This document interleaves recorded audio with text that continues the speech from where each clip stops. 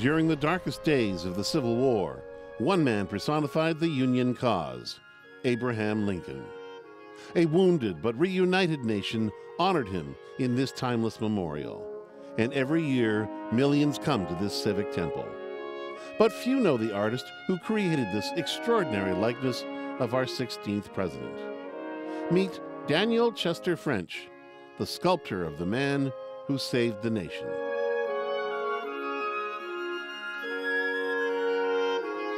Daniel Chester French was born in Exeter, New Hampshire on April 20th, 1850, 76 years and a day after the start of the American Revolution. His family later moved to Cambridge and then Concord Massachusetts. French enrolled in MIT with less than successful results, and within a year he was back on the family farm. But through it all, young Daniel had a passion he recalled years later. I have been whittling and carving things from wood and gypsum, or even from turnips. My father spoke to Miss Alcott as the artist of the community, and she immediately offered to give me modeling clay and tools. I lost no time in harnessing up the horse and driving over for them. May Alcott was the youngest sister of Louisa May Alcott, who wrote the classic novel Little Women. The Alcotts and their neighbor Ralph Waldo Emerson were part of the great artistic and literary community in Concord. In this atmosphere, it didn't take long for Daniel French to demonstrate his natural talent.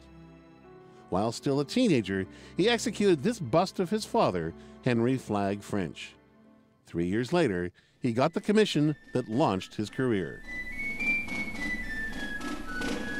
As the centennial of the American Revolution approached, the citizens of Concord decided on a commemorative statue and made an unusual offer to their young local sculptor. They would pay for the studio and materials, but no fee for his design. French accepted the commission and literally turned old Civil War cannons into a seven foot bronze statue that bore the words of Emerson's Concord hymn.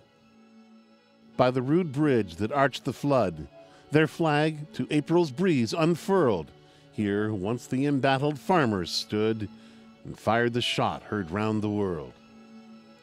Since its unveiling, French's Minuteman has made its own way around the world, becoming an American icon. But French missed the ceremony. He had gone to explore his art in Florence, Italy. On his return to America, French created sculptures for a series of government buildings, helped by the fact that his father was Assistant Secretary of the Treasury. At the age of 29, the young sculptor created a bust of Ralph Waldo Emerson, then 76 years old. On its unveiling, Emerson approved, saying, That is the face that I shave. As French's stature grew, he received prominent commissions, including the statue of John Harvard, founder of the famed college. There were no portraits to draw upon, so French had free rein. Another statue, that of the late Secretary of War Lewis Cass, presented a different problem, as French was criticized for being perhaps too accurate in the large dimensions of the subject. French went through many changes in the coming years, leaving Boston for New York. At the age of 38, he married his first cousin, Mary French. A year later, she gave birth to their daughter, Margaret, who would become an artist in her own right. French's reputation continued to grow with works like Republic, a colossal statue that dominated Chicago's World's Columbian Exposition in 1893. It was the first World's Fair, and it inspired the City Beautiful movement that would unify the fine and decorative arts with city planning. Though well established with a studio in New York, French needed a place to find solace and inspiration. He found it in the Berkshires. Here he built the summer residence and studio he would call Chesterwood. Everything was designed to further his art. High windows gave French the ideal even light to illuminate his sculptures, unmarred by hard shadows. While exploring Chesterwood, you will discover French's love of nature. He sculpted his own landscape to fulfill his vision of an artist's retreat. Here, during summer months, along forested walkways, you can usually find works by contemporary artists who come here seeking the same inspiration and solitude that Daniel Chester French experienced a century before. Daniel Chester French was a master of his medium, working in clay, plaster, marble, and bronze.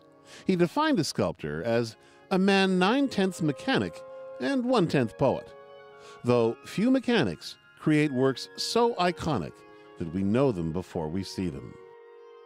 We took a trip to Italy for the very first time. We went to Florence and we saw amazing sculptures, things that you only read about in books. But nothing compares to the Lincoln Memorial. It's just awe inspiring, it's haunting. Daniel Chester French lived through and largely shaped what many regard as the golden age of American sculpture. His legacy is found around the nation and beyond.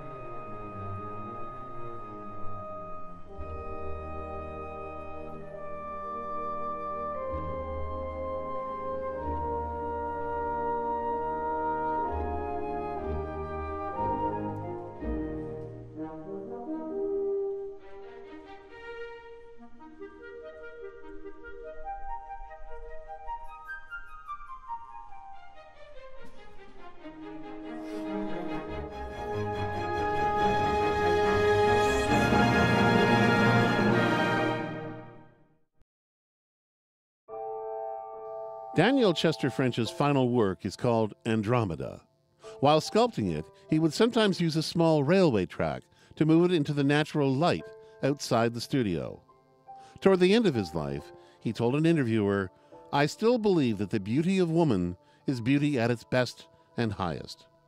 Andromeda remains where it began, in the studio of Chesterwood, as his final statement on his favorite subject.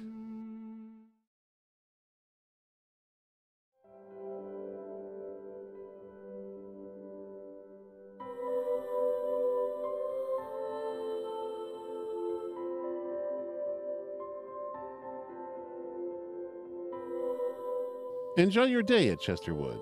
As Daniel Chester French said, I spend six months of the year up there. That is heaven. New York is, well, New York.